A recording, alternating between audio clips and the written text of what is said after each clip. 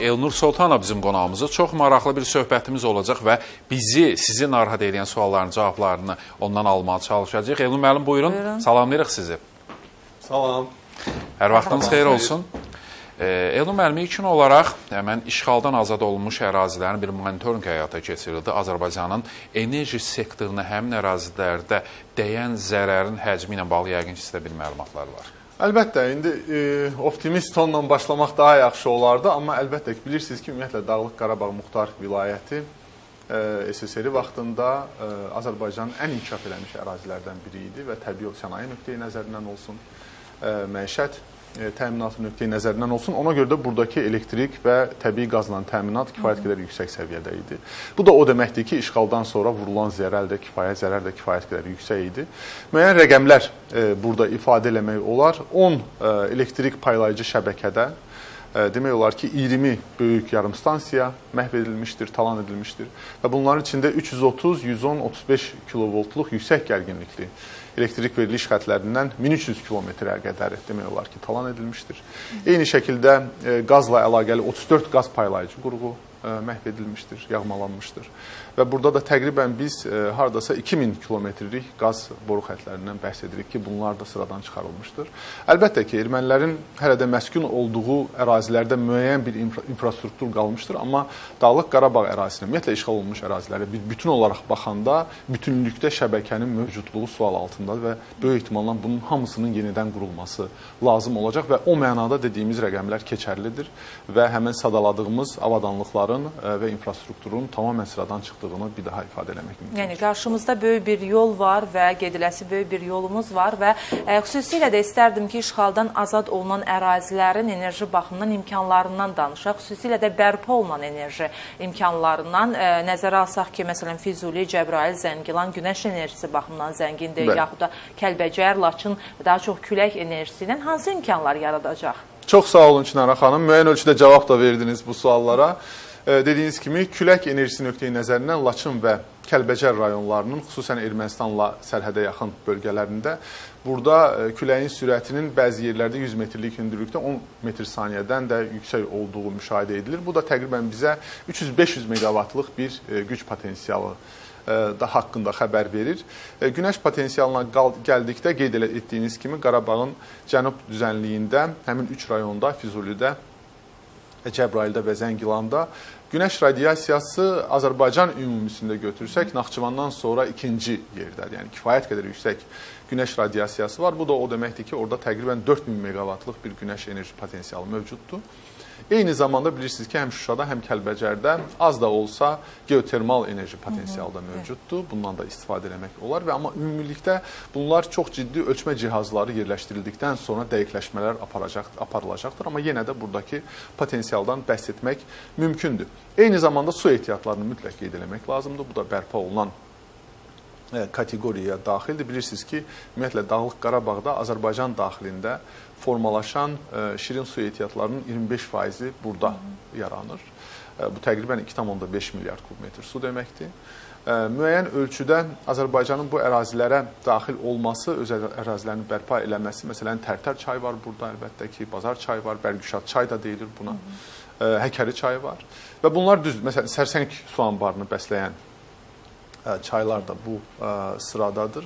Və Azərbaycanın burada kontrolu əldə eləməsi həm müəyyən texniki, maraqlı texniki imkanlar da yaradır və bu çaylar üzərində müəyyən kiçik elektrik su stansiyaların qurulma məsələlərinə baxıla bilər və eyni zamanda mən biraz daha irəli gedərək mövzunu müəyyən şəkildə haşiyə çıxaraq qeyd edeyim ki, bilirsiniz ki, Avropada Avropanın inteqrasiyası 2-ci Dünya müharibəsindən sonra gerçəkləşdi. Çox dəhşətli müharibələrdən sonra və irqçi əsası olan milli, şovinist əsaslı müharibələrdən sonra gerçəkləşdi Avropa inteqrasiyası və burada ən əhəmiyyətli nəzəriyyələrdən biri neofunksionalizm nəzəriyyəsidir. Bu nəzəriyyəyə görə də əslində texniki sahələrdə başlanan əməkdaşlıq yavaş-yavaş siyasi sahələrə sıçrayır və beləliklə də ölkələr arasında və icmalar arasında münasibətlərin formalaşmasına, müsbət şəkildə formalaşmasına ə, deməli təkan verir. O mənada mənə elə gəlir ki, Azərbaycan ərazilərinin azad edilməsi və orada erməni icmasının qalması yenə də texniki mənada infrastruktur artıq iç-içə keçmiş vəziyyətdədir. Yəni burada qaçınılmaz bir şəkildə texniki mənada əməkdaşlıq məcburiyyəti yaranacaq və bu texniki əməkdaşlıq istər-istəməz bu siyasi mövzu deyil.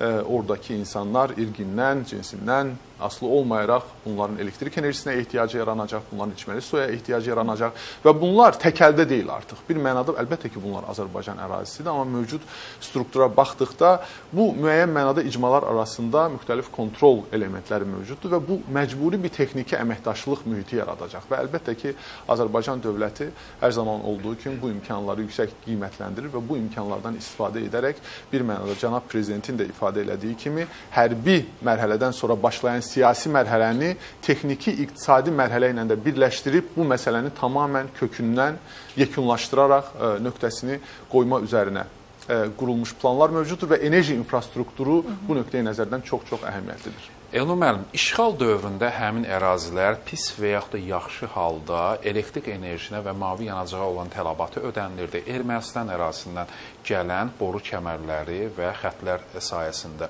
Bu gün həmin ərazilər Azərbaycana e, qaytarıldı. Və belə olan halda həmin e, elektrik enerjisinə və yaxud da mavi yanacağa olan tələbatın ümumi şəbəkəyə qoşulması ilə bağlı saat hansı layihələr həyata keçirilir? Bu maraqlı suallardır. Əlbəttə ki, ə, e, Azərbaycan tərəfi işğaldan azad elədiyi torpaqları çox sürətli şəkildə elektrik enerjisindən birinci növbədə təmin etmək üçün ə, e, əlindən gələn bütün enerjisini səfərbər etmiş vəziyyətdədir. Bilirsiniz ki, artıq bizdə hadruta qədər demək olar ki, elektrik enerjisi Cəbrayıla və hadruta elektrik enerjisi verilir. Əlbəttə ki, çox qısa müddət ərzində kifayət qədər mürəkkəb texnologiyalardır. Yəni bir ə, e, bəzi alimlər ümumiyyətlə elektrik enerjisi şəbəkəsini 20-ci əsrin ən böyük möcüzəsi adlandırır və bu kifayət qədər mürəkkəb prosesdir. Buna baxmayaraq keçici də olsa ə, e, müəyyən istiqamətlərdə artıq daimi elektrik enerjisi ilə təminat var. Amma bütün regionun bu şəkildə ələ alınması kifayət qədər çətin məsələdir. Region böyükdür. Maşallah ə, e, ərazilərimizdir, dağlıq ərazilərdir. Ə, e, yollar ə, e, tam vəziyyətdə deyil, dediyimiz kimi dağıntılar var və s. Bütün bunlar prosesi istər-istəməz keyfiyyətli şəkildə iş görmə nöqteyi nəzərindən proses çox-çox sürətli olmaya bilər. Amma eyni zamanda sizin qeyd elədiyiniz Rasim müəllim, burada və daha əvvəl də qeyd edildiyi kimi burada erməni icması var və Azərbaycan çox millətli, çox konfessiyalı bir ölkə olaraq əlbəttə ki, bunu bir zənginlik olaraq görür və bu erməni icması bu gün istər-istəməz elektrik enerjisinin də qaz təminatını da Ermənistan üzərindən təmin eləməkdədir. Birincisi bu bizim ərazimizdə olan bir əhali qrupunun başqa bir ölkədən və Azərbaycanın kontrolu olmadan davam etməsi mümkün deyil. Və ikinci olaraq da əlbəttə ki, Azərbaycanın bilirsiniz ki, enerji ilə zəngin ölkə olması etibarı ilə Ermənistanın başqa-başqa ölkələrdən idxal elədiyi və bunun da bilirsiniz ki, bir çox hallarda Metsamor kimi bütün insan bəşəriyyətə zərər vermə potensialına sahib olar. O saatlı bir atom bombasıdır. Əslində Metsamor deyə bir stansiya yoxdur, saatlı atom bombasıdır. Bunun bütün standartlar əsasında artıq dayanması lazım idi, amma o stansiyanı işlədərək onun qarşılığında bunlar qaz əldə eləyirlər tutaq ki, bəzən elektrik enerjisi əldə olunur elə eyni stansiyalarda və bu şəkildə təmin olunur. Bu həm təhlükəlidir, eyni zamanda da çox-çox bahalı mal olur və əlbəttə ki, Azərbaycanda olan erməni icması da bizim gələcək vətəndaşlarımız da e, daha yüksək qiymətlər ödəməkdədirlər. Bu mənada bizim o hərbi mərhələdən sonra bunu bəzən ingiliscə deyirlər ki, ürəklərin və beyinlərin fəthi mərhələsi başlayar. Əlbəttə ki, bu qarşılıqlı olmalıdır. Azərbaycanın heç kimə, Azərbaycan dövlətinin, Azərbaycan xalqının da heç kimə hər hansı bir öhdəliyi yoxdur. Amma nəticə etibarilə bizim ərazilərimizdir və 4 e, qat, 2 qat bəzən baha olan, 2-dən 4 qata qədər bahalı olan enerji resurslarını almaqdansa başqa-başqa mənbələrdən, əlbəttə ki, bunu Azərbaycan Bakı mərkəzli dövlətimizin idarəsində olan mənbələrdən çox daha ucuz və keyfiyyətli şəkildə təmin etmə imkanları ortaya çıxır. Və burada olan əhali istər-istəməz onu görəcək, başa düşəcək, öz hər hansı formal, qeyri-formal e, liderlərinə, e, kriminal, qeyri-kriminal liderlərinə bu mövzuda istər-istəməz təzyiq yaranacaq və Azərbaycan bu prosesləri də çox diqqətlə izləməkdədir. Əlbəttə ki, zaman lazımdır. E, burada taktikalar, taktlı davranmaq lazımdır, ehtiyatlı və ə, ağıllı addımlar atılmaqdadır və bunlar hamısı müşahidə altındadır. Bütün planlar qurulmaqdadır. Ə, necə deyərlər? Əgər fürsət yaranarsa, siyasi fürsətlər yaranarsa, bunun texniki imkanlarla necə doldurulması məsələlərinə baxılmaqdadır. Sxemlər e, nəzərdən keçirilməkdədir və bütün bunlar demək istəyirəm ki, nəzarət altındadır və mən əminəm ki, yaxın gələcəklərdə yaxın gələcəkdə bu sahədə atılan addımları, irəliləmələri də görəcəyik və bu çox-çox əhəmiyyətlidir. Nəticə etibarilə dediyim kimi inteqrasiya prosesində hərbi mərhələ qutarır, siyasi, iqtisadi, texniki mərhələlərə imkan yaratmışdır və bunu da əlbəttə ki, mütləq qeyd eləyək ki, bu imkanı da bizə verən Azərbaycan əskəridir və Azərbaycan əskərinin komandanıdır, ali baş komandandır. Elnur müəllim, xüsusilə bir məsələni vurğulamaq istəyirəm. Cəbrayıl rayonunun işğaldan azad olunması bizim üçün əhəmiyyətli idi. Xüsusilə də Xudafərin su anbarı və Qız qalası baxımından və artıq onların üzərində olan elektrik stansiyasını layihəsinin başa çatması da reallaşa bilər. Bu istiqamətdə hansı işlər görüləcək bu haqqda danışarıq. Çox sağ olun Çinara xanım. Çox-çox əhəmiyyətli bir məqama gətirdiniz mövzunu. Bu deməli Xudafərin Qız qalası kompleksi kaskaddır. Xudafərin çox daha nəhəng bir su anbarıdır. Bunun tutumu tam olaraq doldurulduqda 1,6 milyard kubmetr su olacaq. Əlbəttə ki, bu İrandan bölüşdürülür. 50% nisbətində bütün xərclər və yararları bunun iki ölkə arasında bölüşdürülür. Amma bölüşdürülmə nöqteyi nəzərindən baxsanız belə Xudafərin su anbarı Azərbaycanda Mingəçevir və Şəmkir su anbarından sonra üçüncü ən böyük şirin su anbarı olacaq və bilirsiniz ki, quraqlıq dövründə yaşayırıq. Azərbaycanın su ehtiyatlarının böyük hissəsi ölkənin xaricində formalaşır şirin su ehtiyatları. Bu cəhətdən Azərbaycanın iqtisadiyyatına çox-çox böyük bir töhfədir. Və əlbəttə ki, mən burada bu haşiyəni də çıxartmaq istəyirəm ki, biz bu işğaldan azad olmuş torpaqları oradakı təbii resurslarına görə bu qədər dəyərli hesab etmirik. O, onlar düzənlik və səhra olsaydı belə yenə də Azərbaycan üçün əhəmiyyəti kifayət qədər böyük olardı, amma Maraqlı faktdır ki, torpaqların işğal işğaldan azad olması eyni zamanda Azərbaycanın aktivlərinin, iqtisadi aktivlərinin artması mənasına gəlir.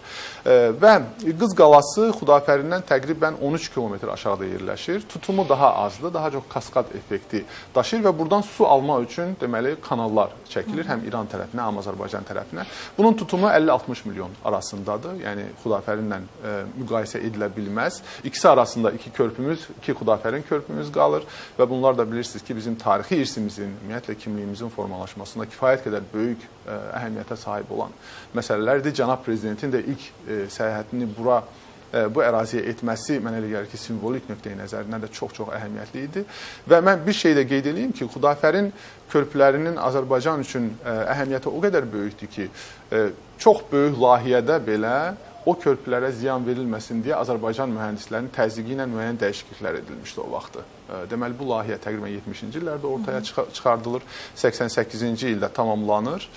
İşlər başlayır SSR vaxtında, müstəqillikdən sonra davam edir və Azərbaycan mühəndisləri davam edirdi bunu. Ancaq işğaldan sonra heyif ki, erməni gücləri bunları, daha doğrusu Ermənistan silahlı qüvvələri bu əraziləri işğal etdikdən sonra iş dayanır. Hətta Azərbaycan texnikaları işğalçıların əlinə keçir və ondan sonra 94-cü ildən etibarən İran tərəfi bu işləri davam elətdirməyə başladı və müəyyən sazişlərlə 2016-cı ildə də bir saziş əsasında bu gün də o işlər davam etdirilməkdədir. Xudafərində demək olar ki, bənd işləri tamamlanmış vəziyyətdədir. Qız qalasında işlərin 80-90% tamamlanıb. Ancaq elektrik stansiyalarının qurulma mərhələsinə hələ başlanmayıb. Onu da qeyd edeyim Nə ki, zaman başlanacaq? Ə, bu çox yaxşı sualdır. Bilirsiniz ki, İran indiyə qədər orada İran ə, dövləti, İran İslam Respublikası kifayət qədər böyük yatırımlar eləyib və burada indi yatırılan miqdarın hesablanması və Azərbaycan tərəfinin üzərinə düşən borcun bu və ya digər şəkildə ödənilməsi məsələsi gündəmdədir. E, və e, yerdə qalan hissə də əlbəttə ki, su elektrik stansiyalarının orada avadanlıqların yerləşdirilməsi məsələsidir. Qeyd edeyim ki, Xudafərində bu hər iki tərəf üçün 100 meqavatdır, Qız qalasında hər iki tərəf üçün 40 meqavatdır. Yəni Azərbaycan nəticə etibarilə burada 140 meqavatlıq bir enerji potensialına qoyuluş gücünə sahib olmuş olacaq. İllik istehsal e, təqribən 350 milyon kilovat saatdan daha çox hesablanır və müqayisə olaraq deyim ki, yəni təqribi bir təsəvvür yaratmaq üçün bu təqribən 300 milyona, 300 minə yaxın əhalinin, 250 min, 300 min arasında əhalinin elektrik enerjisindən təminatını deməli verə biləcək miqdarlarda elektrik enerjisindən bəhs edirik burada. Tamamlanması üçün e, qurğuların e, müəyyən hissəsi alınıb, amma dediyim kimi müəyyən texniki məsələlər, finans məsələləri həll olunmalıdır. Azərbaycan tərəfindən istismarçı məsələlərinə yekun qərar verilməlidir. Çünki işğal bütün prosesləri məhv eləmişdi və o proses də həddindən artıq mürəkkəbləşmişdi.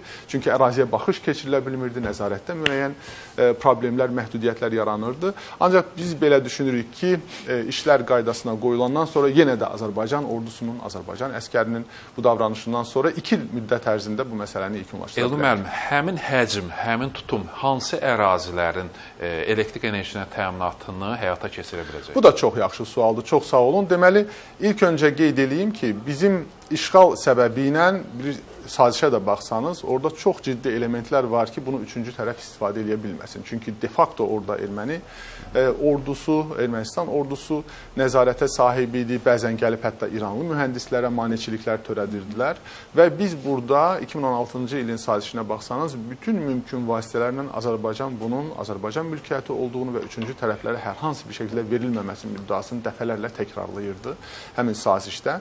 E, və Ancaq işğal səbəbi ilə biz onu iki yolu var idi. Ya İrana vermək məcburiyyətində idik, ixrac eləmək, əlbəttə ki, müəyyən bir mali vəsait qarşılığında, ya da İran üzərindən Azərbaycan ərazilərinə bu Naxçıvan ola bilərdi, digər rayonlarımız ola bilərdi, ixrac eləmək məsələsi var idi. Amma bu tranzit məsələləri mənasına gəlirdi. İstər-istəməz başqa bir ölkənin ərazisindən istifadə eləmək məcburiyyəti yaranırdı və təkəl hər zaman problemin bir hadisədir. İran İslam Respublikası ilə münasibətlərimiz əladır, ancaq yenə də heç bir zaman siz e, tamamilə bir ölkənin ümidinə qalmaq sırf iqtisadi nöqteyi nəzərindən hər hansı şəkildə bunun siyasi olduğunu qeyd etmirəm mən.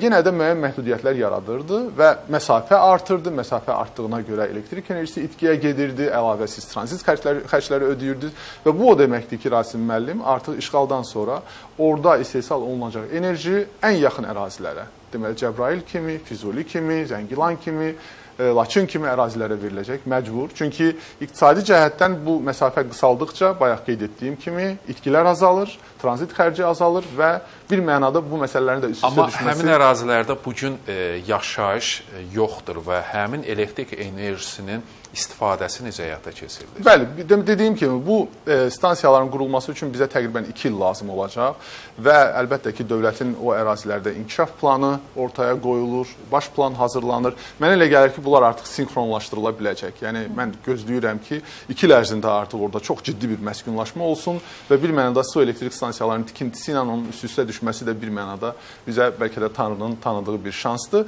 Elektrik enerjisindən mən tamamlanmayım fikrimi, çünki e, Xudafərin e, su anbarının və Qız qalasının da tikilməsində ən böyük məqsəd əslində su idi. E, çünki bilirsiniz ki, bizim ərazidə qeyd elədiyim kimi son dönəmlərdə ümumiyyətlə quraqlıq yaşanır.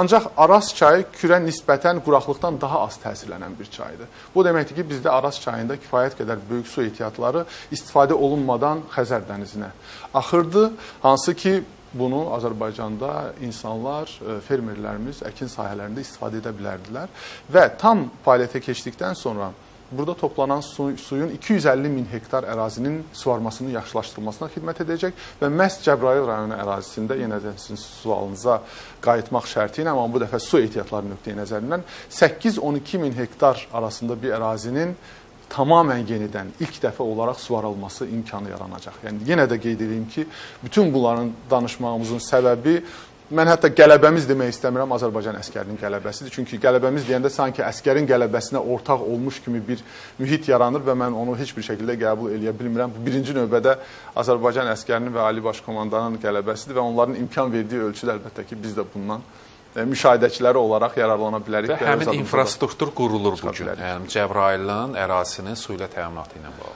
Əlbəttə, dediyim ki, bunlar e, Rasim müəllim çox mürəkkəb proseslərdir. Çox bahalı proseslərdir. Mühəndislik işi tələb edən proseslərdir. Layihələndirmə tələb edən proseslərdir. Çünki bunu kustar metodlarla olmaz və 21-ci əsrdə yaşayırıq və bugünün ən mükəmməl texnologiyaları ilə həyata keçirilən proseslərdir. Yəni fikir versəniz bizdə məsələn qaz ə, e, istehsalatında olsun, neft istehsalatında olsun, qərar veriləndən ilk dəfə neftin çıxarılmasına qədər gedən məsafə bəzən 7 il olur, 8 olur. Təbii qazda bu 5-6 il ən azından uğur sayılır.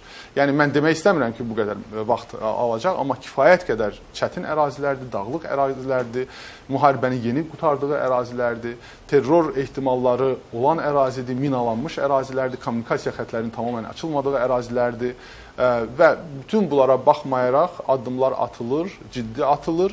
Mənə elə gəlir ki, bunun 5 gün daha sonra olması, amma daha keyfiyyətli olması daha əhəmiyyətlidir. Amma yenə də bəlkə də səlahiyyətlərimi aşaraq bir vətəndaş olaraq bunu ifadə eləyim ki, böyük ehtimalla Azərbaycan dövləti burada birinci təhlükəsizlik məqsədini həyata keçirmək məqsədi ilə o şərtləri həyata keçirmək, təmin eləmək məqsədi ilə ilkin bir təminatı ortaya qoyacaq ki, ilkin mənada bir şəkildə təminat ortaya qoyulsun, müəyyənləşdirilsin və daha sonra bunun keyfiyyətli, daha keyfiyyətli bir şəkildə həyata keçirilməyi məsələsinə ikinci mərhələdə böyük ehtimalla baxılacaq. Elnur müəllim, söylüyorsunuz ki, qiymətləndirilmə aparılmalıdır və həmin ərazilərə baxış keçirilməlidir. Daha sonra hər hansı bir müddətdən danışa bilərik. Amma e, istərdim ki, bu haqda da danışasınız ki, bu qiymətləndirmə müddəti nə qədər çəkəcək?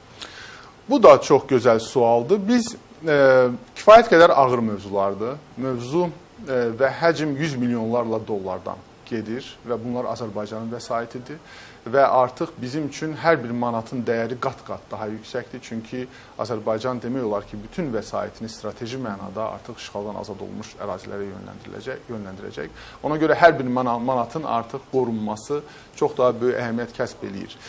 Çox ehtiyatlı yanaşırıq, ancaq sizin qeyd elədiyiniz kimi bir məsələnin digər məsələnin ipotekası altında olmasına imkan verə bilmərik. Çünki əgər borc hesablamalar davam edir, kifayət qədər irəliləmələr əldə eləmişik, amma bunun tikintinin başlayıb qutarılması ilə paralel aparılması və birinin digərinə tabe olunmaması, yəni ardıcıldan yox, daha çox paralel istiqamətdə həyata keçirilməsi istiqamətində addımlar atırıq. Mənə elə gəlir ki, o mənada bir-birini əngəlləməyəcək və mən 2 ildən sonra artıq buradan elektrik enerjisi alınacağına inanıram. Yəni Nur müəllim, bir məsələyə də xüsusilə toxunmaq istərdim. E, investisiyaların cəlbi məsələsinə qeyd elədiniz ki, təhlükəsizlik məsələləri ilk olaraq gündəmə gəlməlidir. Ərazilər mərmilərdən, minalardan təmizlənməlidir. E, bəs investisiyaların cəlbinə hansı müddətdə nail ola bilərik? Ümumiyyətlə buna nail olmaq üçün hansı işlər görülür? Bu da e, kifayət qədər maraqlı mövzudur. Çox sağ olun bunu da açdığınız üçün. Əlbəttə ki, dediyim kimi bu e, adətən infrastruktur layihələri, investisiya layihələri olaraq baxılmaz. Məsələn, bizim bu İranla qiymətləndirmədə də ən böyük argumentlərimizdən biri budur. Çünki dövlət yolu pul qazanmaq üçün çəkməz. E, dövlət e, elektrik stansiyalarını pul qazanmaq üçün çəkməz. Bu investisiya deyil. Məsələn, bizim tutaq ki, e, dövlətin strateji ehtiyatları var, SOFAZ deyilən bir qurum var, e, neft fondumuz var. Bu bir investisiya qurumudur eyni zamanda. Yəni bunlar oturub gecə-gündüz Azərbaycanın vəsaitini hansı istiqamətdə yatırsaq daha çox vəsait əldə edərik düşüncəsi ilə hərəkət edirlər. Amma dövlətin infrastruktur infrastruktur layihəsinin təməlində o dövlətin əhalisinin rifahı yatar. Yəni dövlət nəyin bahasına olursa olsun insanını elektrik enerjisi ilə, təhsillə, təbii qazla, infrastrukturla, yollarla təmin eləməyi öz üzərinə götürür. Kommunikasiya vasitələrindən öz üzərinə götürür. Və bunun ə, e, mali dəyəri nə olursa olsun və buradan hər hansı bir şəkildə hətta qoyulan miqdarlar yenidən əgər qarşılanmasa belə dövlət bu addımları atır və Azərbaycan dövlətində burada addımlarını xüsusi olaraq vurğulanmalıyıq. Yəni bizim tutaq ki, ə, e, dediyim kimi çəkilən yolların məqsədi Azərbaycan insanının rifahıdır. O mənada Əlbəttə ki, Azərbaycan dövləti işğaldan azad olunmuş ərazilərə bir investisiya mühiti və yatırılan pulların geri qayıdılması mühiti kimi baxmır. Birinci növbədə strateji və rifah məsələsidir. Ancaq əlbəttə ki, siz çalışırsınız ki, mümkün mərtəbə bunu eyni bir işi daha ucuza görə bilirsinizsə, bunu daha ucuza görməlisiniz, daha bahaya görməməlisiniz. O mənada xarici investorların da cəlbi məsələsinə baxılacaq. E, yenə sizin qeyd elədiyiniz kimi müharibə vəziyyətinə, xüsusən də çox ciddi şirkətlərin e, təhlükəsizlik e, kodeksləri çox-çox sərtdir. E, məsələn, çox xırda bir hadisədən öz reputasiyalarına ziyan gəlməməsi üçün bunların bilirsiniz ki, hissə sənədləri müxtəlif birjalarda e, ticarət edilir, mübadilə edilir və hər hansı bir təhlükə, baş verəcək hadisə onların ümumi kapitalına belə təsir eləyə bilər, ani təsirlər eləyə bilər. Ona görə çox-çox ehtiyatlı davranırlar və o şəkildə şirkətlərin yeni hələ azad olunmuş, dediyim kimi gərginliyin müəyyən ölçüdə davam etdiyi, minaların hələ var olduğu bir əraziyə gəlməsi müəyyən çətinliklər yaranır. Amma hər zaman yol var hər zaman şirkətlər tapılar. Hər zaman ə, ən uzağı elə ölkələr var ki, Türkiyə kimi ölkələr var ki, oradakı şirkətlərin əlbəttə ki, baxışı çox daha fərqli olacaq. Bəzən maliyyənin biraz artması ilə bir mənada təhlükəsizliyi kompensasiya eləmək, eləmək mümkündür. Bütün çətinliklərə baxmayaraq, yəni çətinliyin ifadəsi imkansızlıq ifadəsi deyil. Bu sadəcə biraz daha sürətli, daha yaradıcı, daha kreativ olmamızı şərtləndirir. Mən elə gəlir ki, bu istiqamətdə də kifayət qədər uğurlu addımlar atılacaq. Elnur müəllim, həmin ərazilərə yerli və xarici sərmayəni cəlb etmək üçün təhlükəsizlik məsələləri xüsusi önəmlidir və siz də bu barədə danışdınız. Deməli, həmin e, ərazilərdə işığı, suyu, qazı təmin etmək üçün hələ də Ermənistan tərəfindən deməli təhlükəni biz gözləyirik və bu bu problem necə həll olunacaq? Yəni Ermənistan e, Respublikası e, bütün ölçülərə heç bir ölçüyə gəlməyəcək şəkildə işğalçı niyyətini ortaya qoymuş bir ölkədir. Bir əsrin üçdə biri müddətində ə, bu ölkə bütün həyatını, bütün insan resurslarını, bütün iqtisadi resurslarını, bütün hərbi resurslarını yekunda özünün əlində partlayan bir sahəyə yatırdı. Yəni bu dəhşətli bir ə, hadisədir əlbəttə ki, bütün yəni Ermənistanın 30 illik yatırımı əlindən çıxmış oldu və belə bir ölkə ilə qarşı-qarşıyayıq, belə bir kriminal təfəkkür tərzinə sahib olan siyasətçilərlə qarşı-qarşıyayıq. Mən əlbəttə ki, burada bu hadisədən sonra Azərbaycan ordusunun qəti qələbəsindən sonra və Ermənistan tərəfinin kapitulyasiyasından sonra hər hansı bir ə, ciddi dirənişin olmasını gözləmirəm və biraz da yenə də səlahiyyət çərçivəmi ə, kənara çıxmaq istəmirəm, amma belə bir hadisə olsa bəlkə də bu Azərbaycan üçün çox da pis xəbər olmaz. Yəni Azərbaycan bunu hərbi e, vasitələrlə bəlkə də bütün məsələni bir həftə ərzində tamamən yekun e, halına gətirərək həll edə biləcəyi qabiliyyətə sahib olduğunu ortaya qoydu. Yəni bu belə bir addım bunu Rusiyanın prezidenti də ifadə elədi. Ermənistan üçün əlbəttə ki, bu intihar olardı. Ona görə bizim üçün, Azərbaycan tərəfi üçün, Azərbaycan əskəri üçün, Ali Baş Komandan üçün bu ə, hər hansı bir təhlükə mənbəyi olaraq deyil. Hətta bu fürsət belə yarada bilər Azərbaycana ki, bütün məsələni kökündən həll eləsin və erməni silahlı qüvvələri bir dəfəlik ə, məhv edilsin və yox edilsin. Əlbəttə ki, bu erməni əhalisinə aid olan bir məsələ deyil. Ancaq bütünlükdə belə bir ölkə ilə qarşı-qarşıya qaldığımız üçün gördünüz siz dünən də mətbuatdan izlədiyiniz Kəlbəcərdə onların oturub yenə də Azərbaycan sərhədləri daxilində müəyyən bir darvaza yerləşdirmələri, yəni bu addımlar, provokasiyalar istər-istəməz olacaq. Bunun dediyim kimi total kütləvi və müharibə e, kateqoriyası altında sinifləndirilə biləcək bir səviyyəyə çatacağını gözləmirəm. Amma yenə də müəyyən gərginlik yaşanacaq, unutmaq çətin olacaq, minalar partlayacaq, bəzən bir, iki insan kontroldan çıxaraq hansısa bir istiqamətdə atəş aça biləcək və bütün bunlar həddindən artıq həssas investisiya mühitinə təsir edici faktorlardır. Bayaq qeyd etdiyim kimi, bugün bizim əlimizdə ə, Abşeron yatağı kimi, Şahdəniz yatağı kimi qaynaqlar varsa, Azərçıraq kimi bir yatağımız varsa, bütün bunların nəticəsindədir ki, biz müharibəyə də hazır olduq və müharibə sonrası quruculuğa da hazırıq. Yəni bu, bunlar da öz başına baş vermədi. Bunlar dövlətin varlığı ilə oldu, dövlətin ağıllı siyasəti ilə oldu və mərhələli şəkildə bu günü görərcəsinə oldu ki, məsələ gəldi, fürsət yarandı. Azərbaycan hərbi cəhətdən hazır oldu və bunu ortaya qoydu. 30 il hazırlandı və bir dəfə və adətən də müharibələr belə bir şeydir. Və müharibə mərhələsi qutarandan sonra Azərbaycan texniki və iqtisadi cəhətdən də bölgəni tamamən özününkiləşdirməsi üçün, yaxşı mənada özününkiləşdirməsi üçün yenə də hazırdır. Çünki vaxtında doğru qərarlar verilmişdir. Çox sağ olun. Minnətdarıq sizə gözəl fikirlərinizə, təhlillərinizə görə və işğaldan azad edilən ərazilərdə hansı işlər görüləcək bu barədə fikirlərinizi bizimlə paylaşdığınıza görə. Siz sağ olun. Çox təşəkkür edirik sizə.